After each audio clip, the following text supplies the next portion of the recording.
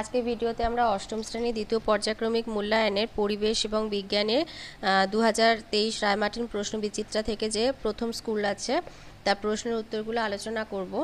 একে দিয়েছে, সঠিক উত্তরটি নির্বাচন করো। আয়তে বলেছে, বরফের ওপরে এক বায়ুমণ্ডলীয় চাপের সমান পরিমাণ চাপ বাড়ালে বরফের গলনাঙ্ক প্রায় কমে যায় zero point zero zero zero seven degree Celsius. দুয়েতে দিয়েছে স্ট্যানাস আয়ন দুটি ইলেকট্রন ত্যাগ করে স্ট্যানিক আয়নে পরিণত হয়েছে। তো এটা একটা জারণ বিক্রিয়া। তিনি দিয়েছে তড়িৎ বিশ্লেষণ তড়িৎ বিশ্লেষণের সময় গলিত পদার্থ বা দ্রবণের মধ্যে দিয়ে তড়িৎ পরিবহন করে ক্যাটায়ন এবং অ্যানায়নগুলি। চারে আছে ডটস পদ্ধতিতে যে রোগের চিকিৎসা করা হয় সেটা হলো যক্ষা পাঁচ মধুতে প্রচুর গ্লুকোজ এবং ফ্রুক্টোজ থাকে। দুয়ে আছে, আইতে আছে শূন্যস্থান পূরণ, চালে seventy nine point one percent carbohydrate থাকে। দুয়ের সত্য মিথ্যা উল্লেখ করো, গলিত সোডিয়াম ক্লোরাইডের তড়িৎ বিশ্লেষণে অ্যানোটে উপজাত পদার্থ হিসাবে ক্লোরিন গ্যাস উৎপন্ন হয়, এটা সত্য। তিন, মোর্চে ধরার সময় লোহা জারিত হয়ে ফেরাস আয়ন উৎপন্ন করে। আর রথবাতে আছে, উৎসেচক, কোন জাতীয় যৌগ? প্রোটিন জাতীয় যৌগ। চারে স্তম্ভ মেলানো, এতে আছে সাধারণ ড্রাইসেল হবে ওয়ান পয়েন্ট ফাইভ ভোল্ট আর বিতে আছে অভিকর্ষহীন, স্থানে সম্ভব নয় পরিচলন।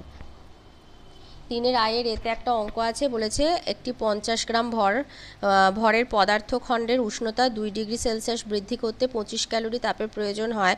তাহলে ওই পদার্থের আপেক্ষিক তাপ কত?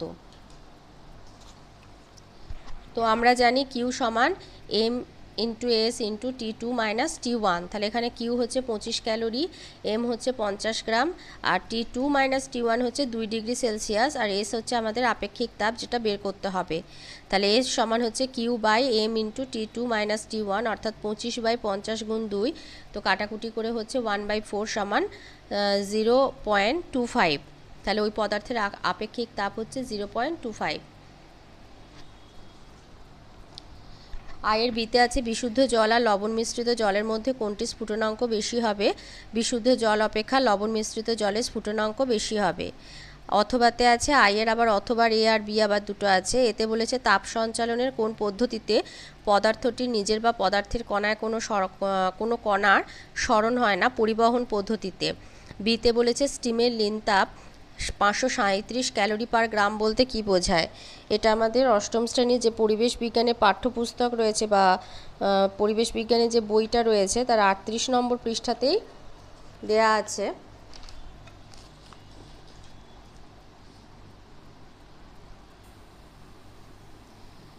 স্টিমের লিনতাপ হচ্ছে পাঁচশো সাঁত্রিশ ক্যালোরি পার গ্রাম বলতে বোঝায়। প্রমাণ বায়ুমণ্ডলীয় চাপে একশো ডিগ্রি সেলসিয়াস উষ্ণতায় এক গ্রাম জলকে একই উষ্ণতায় এক গ্রাম স্টিমে রূপান্তরিত করতে পাঁচশো সাঁত্রিশ ক্যালোরি তাপ প্রয়োগ করতে হয়।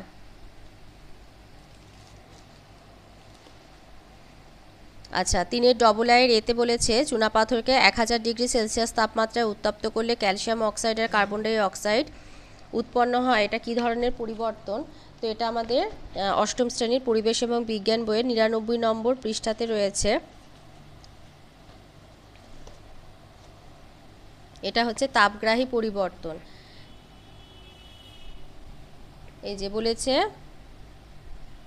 চুনাপাথর ক্যালসিয়াম কার্বনেট থেকে পোড়াচুন ক্যালসিয়াম অক্সাইড, এটা একটা তাপগ্রাহী পরিবর্তন। এই যে এক হাজার ডিগ্রি সেলসিয়াস তাপমাত্রা প্রয়োগ করলে এটা ভেঙে গিয়ে ক্যালসিয়াম অক্সাইড এবং কার্বন ডাই অক্সাইড হচ্ছে আর তাপ গ্রহণ করছে। আচ্ছা বিতে আছে কোনো পরিবর্তন যে রাসায়নিক পরিবর্তন তা বুঝব কি করে? এটা ওই বইয়ের ওই নিরানব্বই পৃষ্ঠাতেই রয়েছে। এই যে একটি পরিবর্তন যে রাসায়নিক পরিবর্তন তা বুঝব কি করে? যদি পরিবর্তনটির সময় এ কি বলছে? কোনো অধক্ষেপ পড়ে বি হচ্ছে গ্যাস নির্গত হয় সি হচ্ছে রঙের পরিবর্তন হয় এবং ডি হলো তাপ মুক্ত বা শোষিত হয়, তাহলে প্রাথমিকভাবে মনে করা যেতে পারে যে সেটি রাসায়নিক পরিবর্তন। তাহলে এ বি সি ডি এই চারটে হচ্ছে পয়েন্ট তাহলে কোনো রাসায়নিক পরিবর্তনের সময় এক নম্বর পয়েন্ট হচ্ছে যদি অধক্ষেপ পড়ে, দু নম্বর পয়েন্ট হচ্ছে গ্যাস নির্গত হয় বা কোনো গ্যাস আর কি উৎপন্ন হয়। সি হচ্ছে রঙের পরিবর্তন হয় কালার চেঞ্জ হয়, বা ডি হচ্ছে তাপ গ্রহ মুক্ত বা তাপ শোষিত হয় তাহলে প্রাথমিকভাবে মনে করা যেতে পারে যে সেটি রাসায়নিক পরিবর্তন। তিনের তিনে অথবাতে আছে সরি ট্রিপল আই যেটা, তার এতে আছে বিশুদ্ধ জলে তড়িৎ বিশ্লেষণ করা যায় না কেন?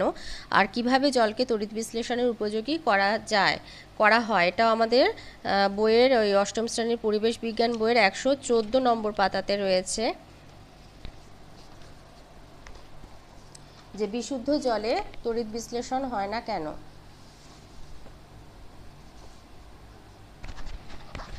এই যে বলছে, বিশুদ্ধ জলে আয়ন সংখ্যা এত কম যে তা তড়িতে সুপরিবাহী নয়।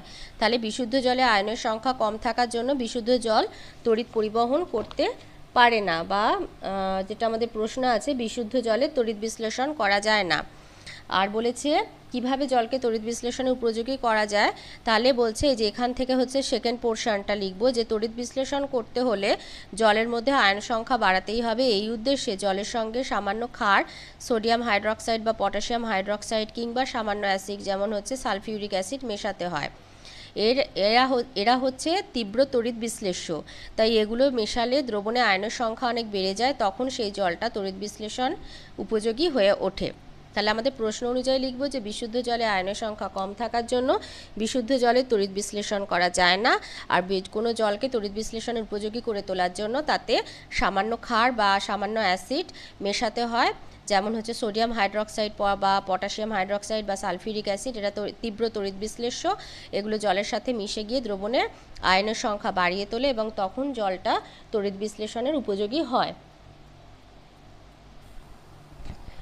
তিনের বিতে বলেছে, একটা লোহার চামচের ওপর নিকেলের প্রলেপ দিতে গেলে অ্যানোডে এবং ক্যাথোডে অ্যানোড এবং ক্যাথোড হিসাবে কি কি ব্যবহার করতে হবে?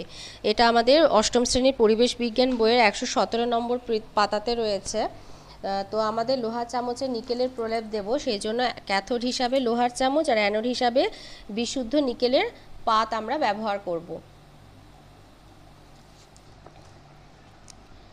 অথবাতে আছে দৈনন্দিন জীবনে ব্যবহৃত হয় একটি আয়নীয় যৌগের নাম সোডিয়াম ক্লোরাইড যেটা আমরা খাদ্য লবণ বলি, যৌগটি জলীয় দ্রবণে কী কী আয়ন দেবে? সোডিয়াম আয়ন আর ক্লোরিন আয়ন।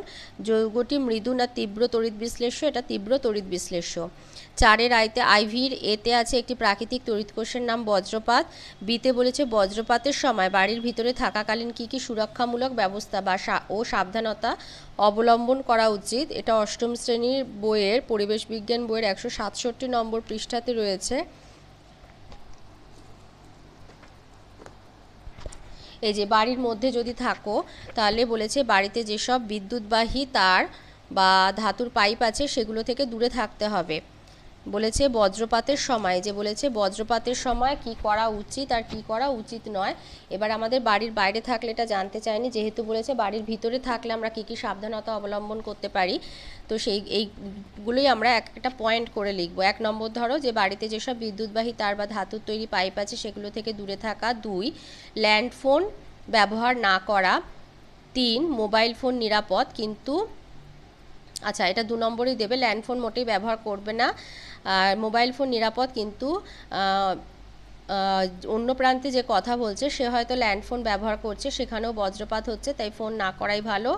তিন নম্বর হচ্ছে বিভিন্ন তড়িৎ যন্ত্র, যেমন টেলিভিশন, রেফ্রিজারেটর, তড়িৎ সংযোগ খুলে রাখা। চার, আলো জ্বালিয়ে রাখা যাবে। পাঁচ, মগ দিয়ে বালতির জল ব্যবহার করতে পারা যাবে, কিন্তু পাইপের মাধ্যমে আসা জল খুলে কোনো কাজ করা যাবে না।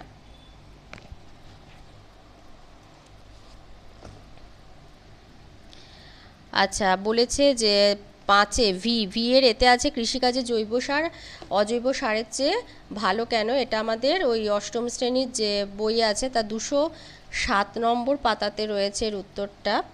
পয়েন্ট করেই লেখা আছে, সুন্দর করে। এই যে জৈব সার কেন অজৈব সারের চেয়ে ভালো? এক নম্বর পয়েন্ট হচ্ছে জৈব সার মাটির জল ধারণ ক্ষমতা বাড়ায়।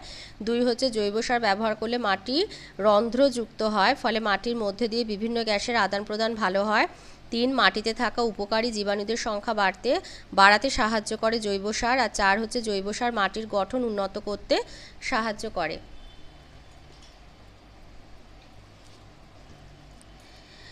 বিতে আছে একটি আগাছা নাশকের নাম লেখো, এটাও আমাদের বইয়ের দুশো নয় নম্বর পৃষ্ঠাতে রয়েছে। একটি বলেছে, এখানে অনেকগুলো আছে, তাই জন্য পৃষ্ঠাটা দেখিয়ে দিলাম। দুশো নয় নম্বর, এই যে two four D dalapon picloram তো এখানে যেহেতু একটা বলেছে, তো তোমাদের যেটা পছন্দ, সেটা লিখে দেবে।